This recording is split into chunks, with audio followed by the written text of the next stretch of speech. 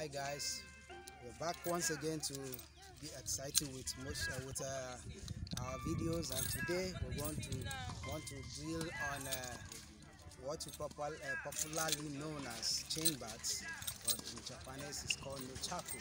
So we want to give just a, a basic of it, not deeply, but just a basic way of throwing and striking with nunchaku.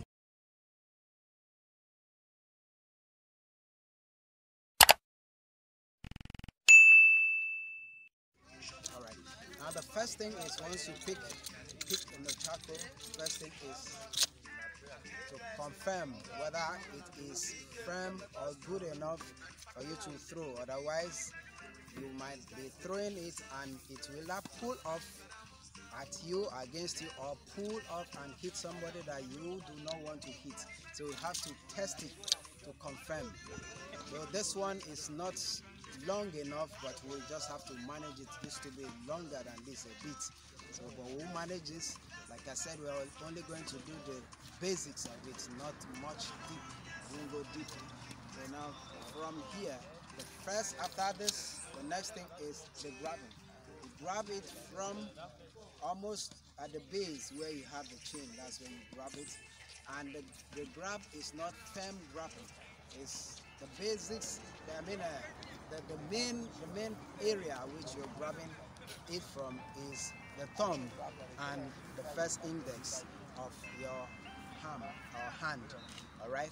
Now from here, you start the swing. You swing it, swing, and you can change.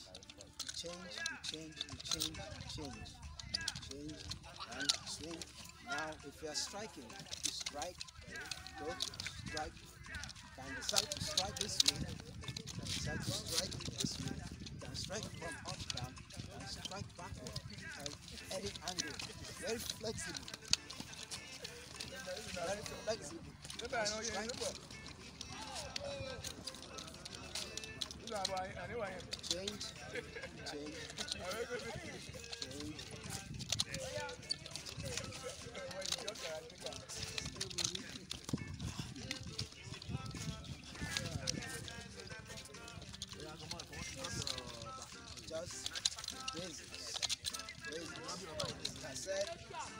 Not long enough. We are managing to make use of it. It used to be longer than this. Change, change, change. Strike.